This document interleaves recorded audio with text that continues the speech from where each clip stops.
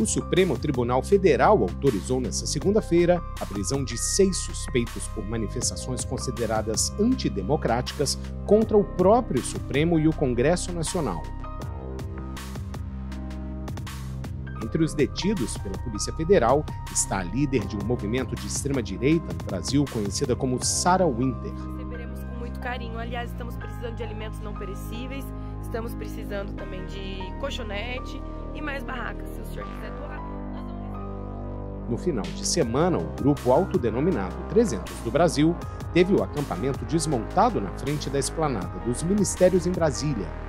O grupo também tentou invadir a sede do STF e lançou explosivos contra o prédio.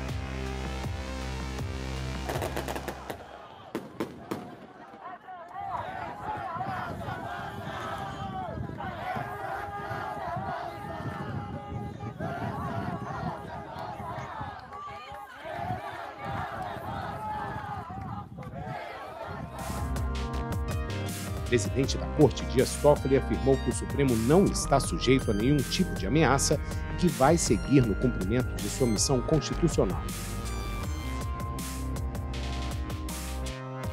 A Suprema Corte Brasileira vem sofrendo constantes ataques durante a atual administração federal.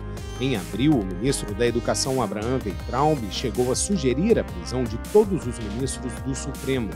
No domingo, em um vídeo divulgado em redes sociais, Traub voltou a classificar membros da corte como vagabundos.